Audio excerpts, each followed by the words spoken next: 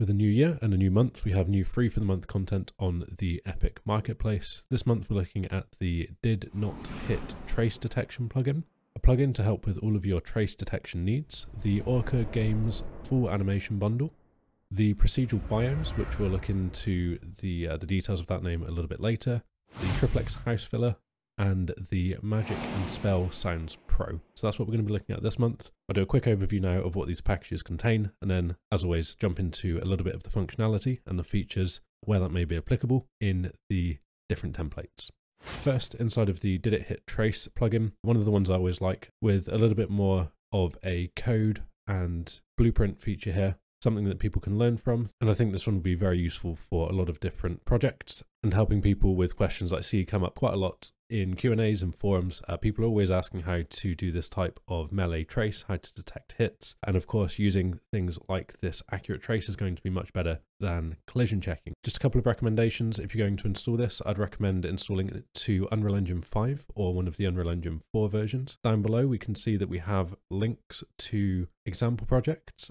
and I have found that using the Unreal Engine 5.0 project doesn't seem to work with the Unreal Engine 5.1 plugin. You install this directly to the engine, not per project. You can of course just look through the documentations, but with this type of plugin, I do quite like having an example project just so I can see how they would recommend setting it up. I tend to pick things up much better that way, so I really like the fact they've provided these example projects, and if you wanted to get that working, I've just found that the Unreal Engine 5 plugin install works as you'd expect with the Unreal Engine 5 project, so I'd go with that combination for now.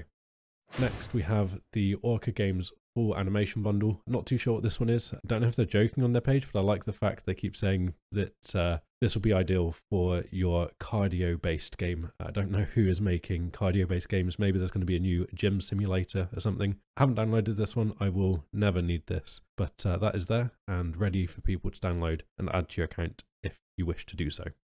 Procedural biomes then. Not too sure how this one got away with the naming convention. This is, from what I can see, unless I'm missing something, and I've read through this and looked through the projects, there's no blueprint implementation. This is just a set of environmental assets. Uh, not really the type of assets that I would use. It's kind of that semi pseudo realistic, but not good enough to not have that uncanny valley thing going on. I've downloaded this one. I might try and make it look more stylized or something. You could probably use the assets and tweak them. Uh, it doesn't look bad, just not something that I would use. But the naming thing interests me quite a lot. I'm not sure if I've missed something here. It's called the Procedural Biomes plugin, which made me think it would be providing a bunch of plugins or blueprints to work with some kind of dynamic procedural generation. If we look down here, we've got some documentation, which doesn't really mention that. And then just below that, we have the steps to get this to be procedural, which is just to enable a bunch of readily available Unreal Engine features, which are still only in the experimental stage as well, using Niagara and the VFX to have this littered and kind of procedurally placed, which technically means that any environment pack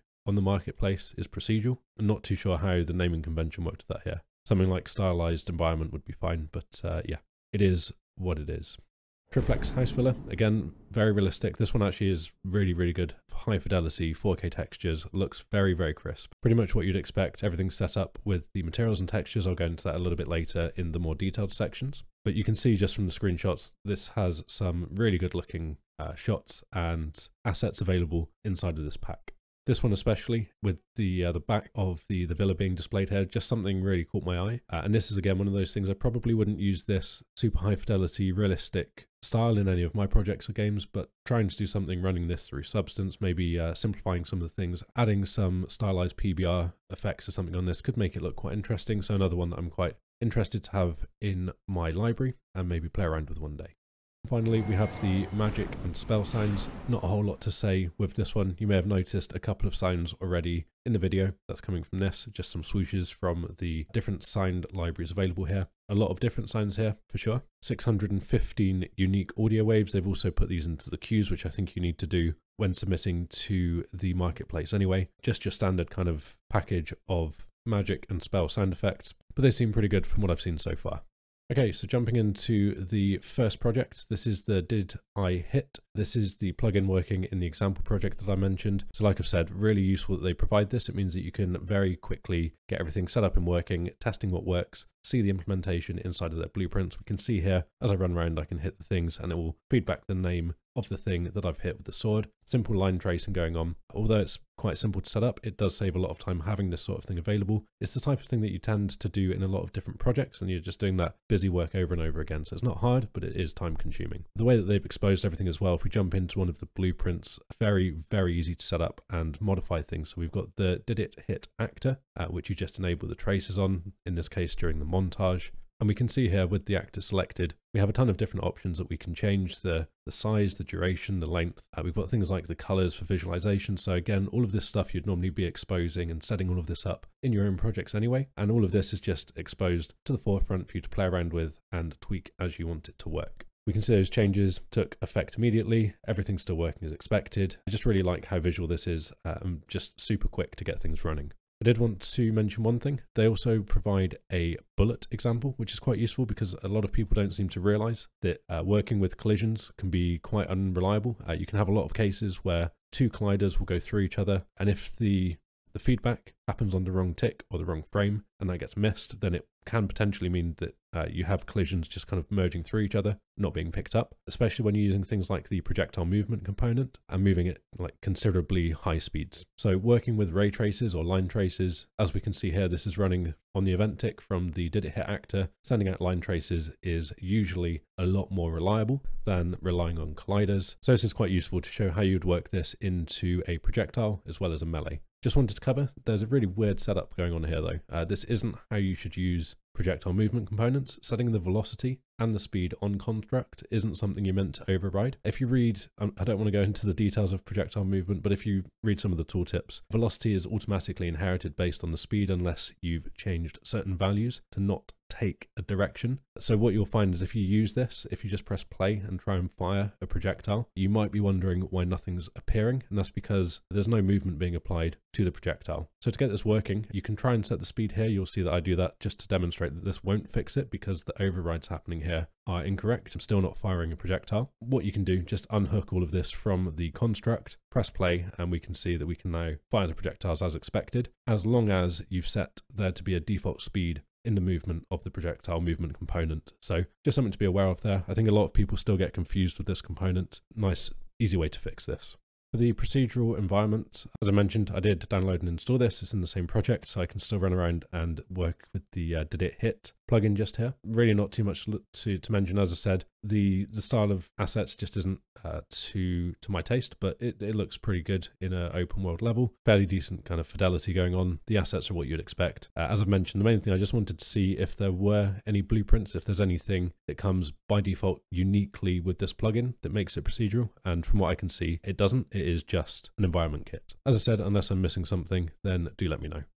Triplex House Filler. Now this one was a little bit of a surprise. I very much expected, I didn't read the full description, so it might be in there. I very much expected this to just be kind of visual fly through, or maybe even not have a fly through, just a visual layout of the levels and the assets. I was nicely surprised with this essentially could be a House Flipper 2 or 3, I don't know where they are at the moment. This would be a great start to that type of game. It has a whole bunch of implementations, some functionality to interact with different doors, you can open fridges, uh, you can even redesign some of the elements of like the living room. I'll just jump to that now.